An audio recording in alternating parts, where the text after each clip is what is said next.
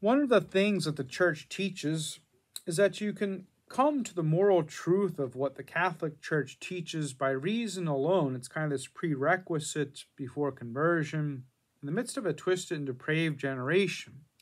This is why the church teaching on morality is universal, it is for everyone. All are called to become holy and to leave any slavery to corruption in their life. But Catholicism has a unique way of changing someone morally. Yes, it's through virtue and striving to be good and forming holy habitual habits and actions.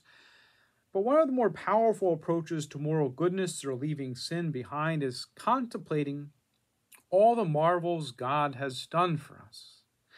And the marvel that God has done for us is He sent His Son, who was scourged the pillar, He bore nails in His hands and in His feet, and He was crowned with thorns. And as He hung upon the cross, He said, Forgive them, they know not what they do. And I believe there's nothing more powerful to change one's life than the contemplation of this action of God's Son. It is in contemplating the passion of our Lord where God causes the effect in us to change. First, it helps us to see the effect of sin that truly crucifies our neighbor. And until people see the effect, people remain in kind of this illusionary state about what his or her sins do and they often go on crucifying. Then, when one comes to this conclusion, there's usually this healthy sorrow for sin. This is meant to move us into contemplating God's love and His mercy. And the fact that He went to the cross for your sins and mine specifically. This is what really captures our hearts, our souls, and our minds as Christians. And we come to understand such a boundless love from God and such great mercy.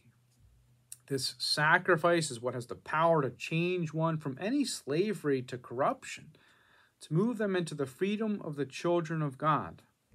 For this is the point of why we shed tears and penance, not simply because we failed in some moral obligation, but because we crucified.